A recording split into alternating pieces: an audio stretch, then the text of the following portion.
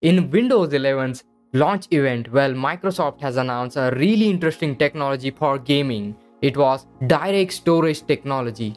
And talking about direct storage technology, well, it claims to improve the loading times of your game. Today in this video, I'm going to check whether the direct storage technology compares with the Windows 10 game loading times. So without further ado, let's get started. And by the way, results are kind of amazing. So before we deep dive into the technology and its demonstration, let's understand what is direct storage technology. With top performing PCs running Windows 11, new games can load faster than ever thanks to a breakthrough technology called direct storage, which we first pioneered in the Xbox Series X and S. With direct storage, games can quickly load assets to the graphics card without bogging down the CPU. This means you get to experience incredibly detailed game worlds rendered at lightning speeds without long load times. Direct storage optimized Windows 11 PCs are configured with the hardware and drivers needed to enable this amazing experience. So whenever you are trying to play a game, there is a load screen and load screen is not just a picture or a video.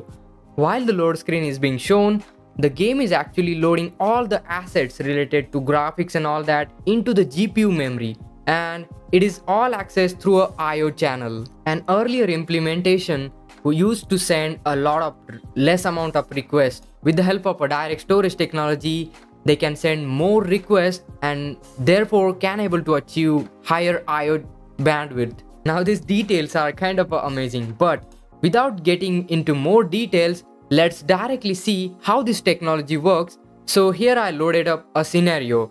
I used my Windows 10 system and a Windows 11 system and loaded up GTA 5 for a benchmark result.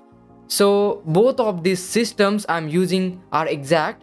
In fact, I'm using exact PC for both of the tests. My GPU is the GTX 1650 4 gigs of memory and I'm using uh, M.2 NVMe SSD. Also, I'm using a Ryzen 5 2600 so this is pretty much my configuration. I can understand my configuration is not high end but I'm pretty excited to see whether my system can take advantage of direct storage technology. So without a further ado, let's start the test. So I'm going to load up the GTA 5 in both of the machines, Windows 10 and Windows 11. And Windows 11 should load up the games faster, but we will see how that works out. So here we go guys. Let's do this.